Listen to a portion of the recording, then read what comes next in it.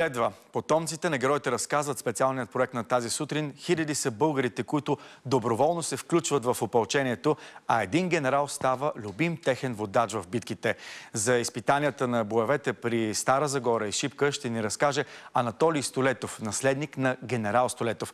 Успяхме да открием наследникът на Столетов в а, нашата рубрика и да ви го покажем благодарение на посланника на Руската федерация в България и форум България-Русия. А за фотографиите на опълченците ни помогна Тошо Пейков. Вижте тази история.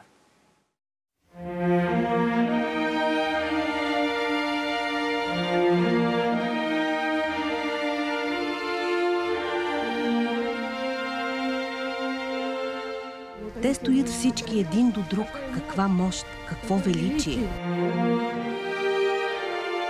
Чудо просто. Чудо.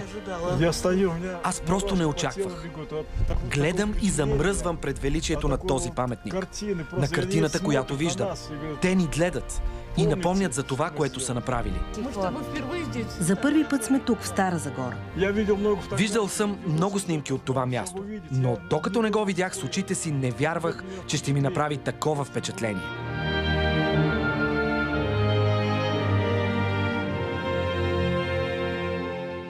Правнукът на генерал Столетов Анатолий и неговата съпруга Зинаида идват в България от руския град Владимир, близо до Москва, за да почетат паметта на героите.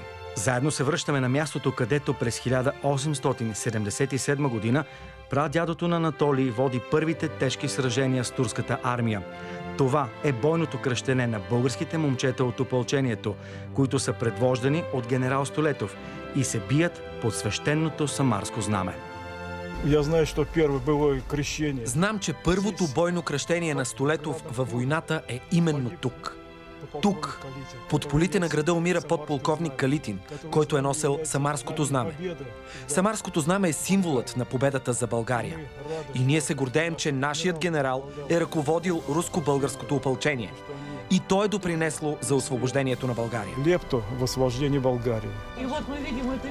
И ето сега виждаме тук великото самарско знаме, което е символ на всички мечти и стремежи на българите за освобождение. Това е още едно потвърждение, че нашата дружба и приятелство е вечна, искрена и продължава до днес. Знамето се издига към небесата, създава се усещане за безкрайност. И кръстът в средата символизира православието, любовта и отношението ни един към друг. И то се развява над целия град, за да осени любовта. Това е чудо за мен. По-моему, чудо. Лятото на 1877 предните отряди на генерал Гурко заедно с дружините на българското опълчение настъпват при Стара Загора. Градът е превзет, но към него се насочва централната турска армия. Численото превъзходство е в полза на Сулейман Паша. Стара Загора е опожарена. Избити са близо 14 000 жители на града и околните села. Самарското знаме обаче е спасено. Эти были жестокие сражения. Сраженията тук са били много тежки. Много български и руски войници са намерили смъртта си тук. Днес това е място пропито с кръвта на руски и български войници. Именно тук, в Стара Загора, е осветено Самарското знаме. Носели го няколко войници. В опит да го спасят, го предават на полковник Калитин. Той се качва на коня и продължава штурма на българските и руските войници, но е убит от картечница. Тогава войници успяват да грабнат знамето и да го спасят от турската армия. И когато генерал Столетов вижда, че знамето е съхранено, възкликва. Благодаря ви, братя, че сте опазили българското бойно знаме. Сега знамето се съхранява във военно-историческия музей като светиня. Котловината, която виждаме, гората наоколо, са били окупирани от турски войски. Било е много тежко да бъдат изтласкани, победени. Тук в града също. Стреляло се е на месо, хвърчали са куршуми от всички страни, тела. Убивали са мирни жители, войници. Толкова много животи са погубени тук. Жестоко сражение. Жестокое было сражение. Страховитата битка край Стара Загора се оказва генерална репетиция за Столетов и неговите момчета, руснаци и български опълченци. Следващата им среща с Сулейман Паша е на Шипка. Сюлейман е бил готов на всичко, за да премине от другата страна на Балкана, за да помогне на Осман Паша в обсъдения плевен и да се докаже като военачалник. 7500 руски войски и опълченци на върха трябва да удържат 30 000 армия от юг. Генерал Советов Генерал Столетов сам разказва, че руснаците и българите са се били като орли, непобедим. От уста на уста се е предавало, че българските войници се били като орли и са умирали като герои. Той е преживял много тежко всяка смърт на войниците си. И когато слиза от шипка, казва Искам моите мъртви войници да възкръснат, да застанем отново в един строй и пак да чуя песента, която пеят българите. Шумит Марица, о, кровавена, Плачет давица люто ранена. Марш, марш, генерале наш, бой да летим, враг да победим. Това е песента, с която нашите момчета влизат в боевете на Шипка, а после става и химн на царство България. Когато умира през 1912 година, всички живи опълченци, които отиват на погребението на генерал Столетов и които той е водил в освободителната война, отиват на гроба на любимия си генерал с шепа пръст, българска земя и запяват Шуми Марица.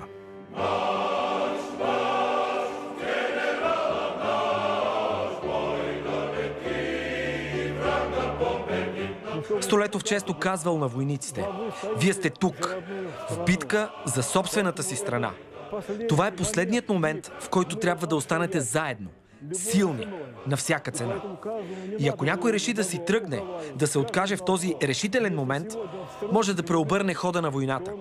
Затова и всеки, без да пести сили, се стараел да даде всичко от себе си, за да победят в тази страшна и кръвопролитна война.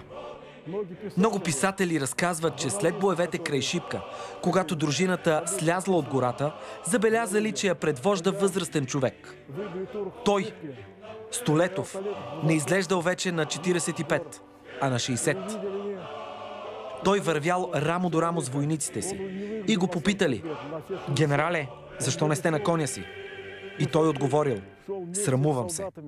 Не мога да се кача на коня си, докато войниците ми са с мен, вървейки пеш.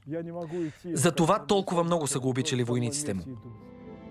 Само на Шипка след летните боеве загиват стотици, а при зимната защита на прохода хиляди замръзват в преспите. В цялата руско-турска война са убити и ранени над 70 000 души. Затова се прекланяме пред тяхното дело. Сигурен съм, че още дълги векове двата народа ще бъдат приятели. Долго-долго веков будем дружить вместе.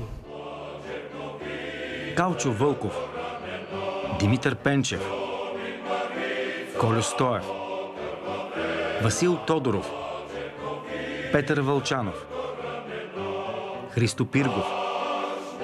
Част от имената на ополченците и лицата им, които снимките са запазили за нас. Мъжете, които са отишли да се бият за родината си и доживяват да видят България свободна. Анатолий е сигурен, че сега, когато момчетата от дружините вече са заедно със своя генерал, спомнят любимата си песен, с която са били рамо до рамо в битките.